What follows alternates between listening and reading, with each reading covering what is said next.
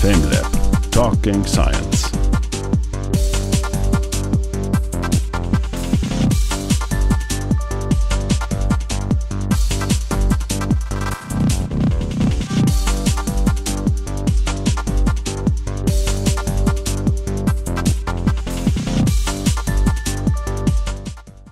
Sehr verehrte Damen und Herren, ich war gestern bei meiner Oma. Die wird übrigens heute 70, also alles Gute zum Geburtstag, Oma.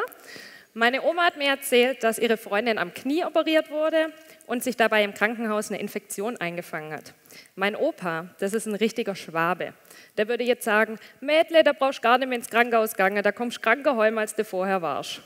Und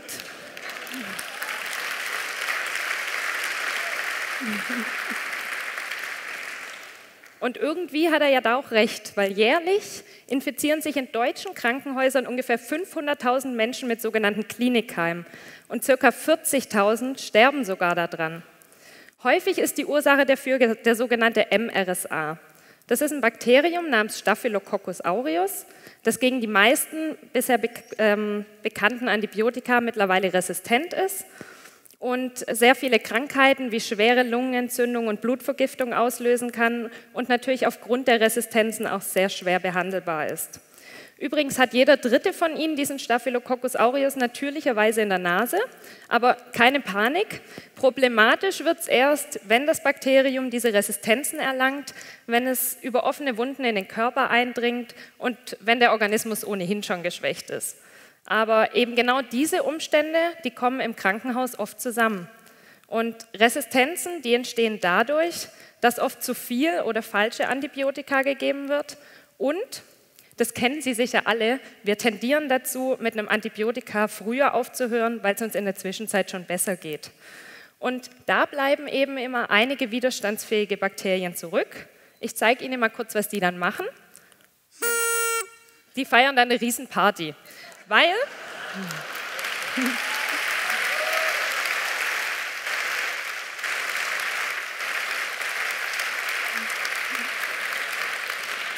weil die konnten eben nicht nur die Behandlung mit dem Antibiotika überleben, sondern sie kennen das Antibiotika jetzt auch und können sich beim nächsten Mal erfolgreich dagegen wehren. Sie sind also resistent geworden. Und weil Bakterien sehr gesprächig sind, können sie diese Informationen auch mit anderen Bakterien austauschen. Das nennen wir dann horizontaler Gentransfer. Und bei dem Staphylococcus aureus, da sieht es eben so aus, den hat man zuerst versucht mit Penicillin zu behandeln. Aber dagegen hat das Bakterium relativ schnell was gefunden, und zwar sogenannte Beta-Lactamasen. Das können Sie sich vorstellen wie so kleine Scheren, die zerschneiden das Penicillin und machen es unwirksam. Dann haben wir uns überlegt, wir machen das Penicillin stabiler und fester, damit es nicht mehr zerschnitten werden kann. Daraus wurde dann das Methicillin. Aber auch dagegen hat das Bakterium mittlerweile was gefunden.